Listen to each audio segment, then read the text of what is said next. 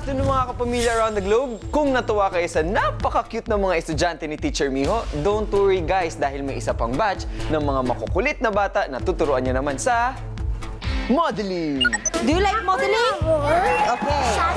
Sisimula ka dito, pupunta ka dito sa gitna. Joel, anak, pakinig. Ano? Diba, dyan ka. Hanoi? Dyan. Lakad, tapos dito magpo-posing. One, What's big? two,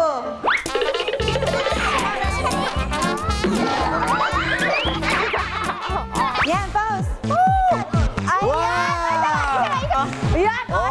Wow! Lahat, lahat kayo, dali lahat kayo. Dali, dito, dito. Yan, dito, dito, dito. Ang cute! Sobra! Pero kung walang tigil sa kakulitan ng mga bata, ang Baylona hindi naman magpapahuli sa kanila.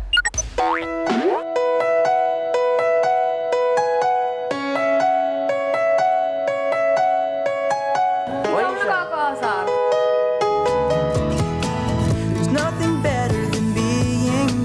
being just with you. Makayanan kaya ni Teacher Miho at ng ibang housemates ang energy ng mga estudyante. Abangan natin kung paano nila matuturuan ang hyper na hyper ng mga batang ito mamaya sa PBB 737 after On the Wings of Love. Ako po si Enchong D, ang homeboy sa bahay nito.